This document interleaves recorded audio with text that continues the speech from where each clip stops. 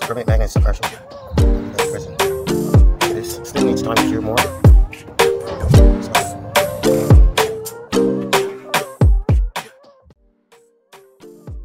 Is on the bottom and the copper is on the top. And the coil is on the bottom of the aluminum.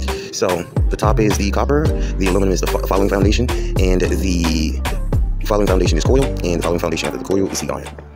So that's for the back. Now as of the front, the coil is the bottom foundation, the upper foundation is iron, and after the upper foundation iron, there is copper sheet.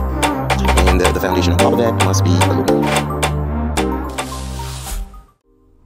Okay, so I apply the aluminum foil underneath the resin um, Gorilla Glue. It's very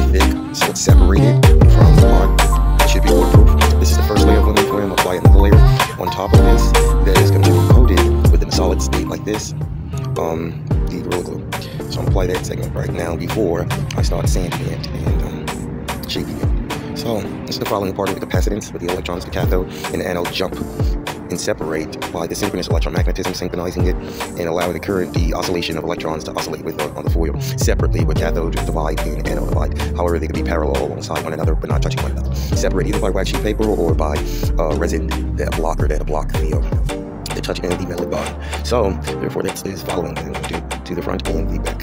So, my name is Jimmy